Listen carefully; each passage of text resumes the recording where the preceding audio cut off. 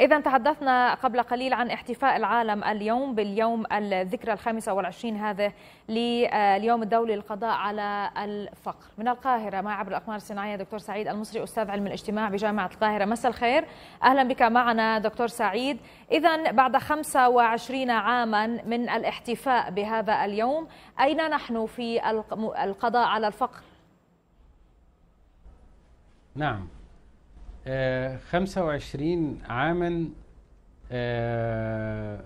منذ أن دعت الأمم المتحدة لأول مرة لضرورة تنبيه العالم بأهمية الاهتمام بهذا الحدث وهو مكافحة الفقر. يعني اليوم العالمي للفقر ليس مقصودا به الاحتفال بالفقر على المستوى العالمي على المستوى العالمي. وإنما وإنما هو تذكير كل الشعوب وتذكير كل الهيئات العاملة في مجال التنمية بأن الموضوع الأكثر أهمية على المستوى العالمي الآن والذي ينبغي أن يحظى بالاهتمام الأكبر هو مكافحة الفقر.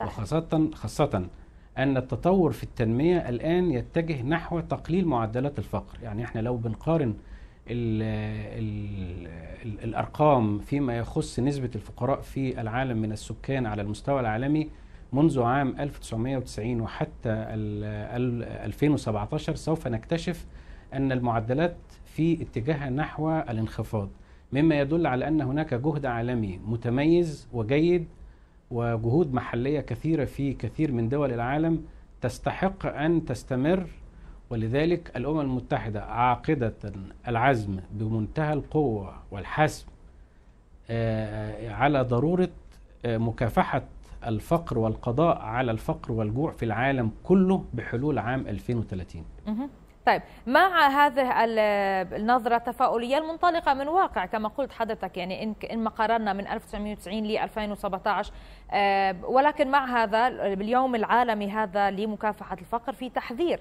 من اتساع رقعة الجوع خاصة بالأزمات التي نعيشها في بلدان عدة. دكتور سعيد ماذا يمكن أن نقول بهذا الشأن؟ التغيرات المناخية في العالم بتلعب دور كبير جدا في يعني إحداث تقلبات في المناخ وهذا ينعكس على توزيع المياه وتوزيع سقوط الأمطار وبالتالي ففي موجة من التصحر تحدث في كثير من دول العالم يترتب عليها انخفاض في الرقعة الزراعية ويترتب عليها أيضا في يعني وجود فئات من الفقراء يزدادوا بشدة في تلك المناطق التي تتعرض إلى هذا إلى هذا الوضع الكارثي. فمكافحة الجوع دائما هي مرتبطة ارتباط وثيق بالتغيرات المناخية ومرتبطة أيضا بالتوزيع العادل للثروة لتمكين الفقراء من الوصول إلى الغذاء لأن الحقيقة الغذاء الغذاء مهم جدا بالنسبة للبلدان الأشد فقرا وأن ضحايا الجوع عموما هم الذين أو الذين يعني يتحملون العبء الأكبر هم الأطفال. الأطفال في سن أقل من خمس سنوات يتعرضون للوفاة. أعتقد اليونيسيف قالت أنه 22 ألف طفل يوميا يموتون بسبب نقص الغذاء. طيب التوزيع العادل للثروة كما قلت دكتور سعيد كيف نعم. يكون؟ وهل فعلا يتم؟ شوفي يعني حضرتك مواجهة الفقر دايما في اتجاهين في العالم. كيف يمكن أن نواجه الفقر مواجهة الفقر مرتبطة بتفسير الفقر يعني من أين جاء هذه الحالة اللي هي إحنا بنطلق عليها حالة الحرمان من الوصول إلى الموارد والخدمات والأصول والسلع الأساسية م. من المتسبب في هذا؟ في وجهتين نظر الوجهة النظر الأولى تقول أن السكان الغير قادرين أو غير القادرين هم دائما بيقعوا في مصيدة الفقر. ويعني النظرية دي موجودة في علم الاجتماع غير قادر على ماذا؟ غير قادر على العمل غير قادر على الطموح وتغيير الظروف المعيشية والحراك وبذل أقصى جهد أكثر. هذه النظرية تتهم الفقراء بأنهم هم المسؤولين عن فقرهم.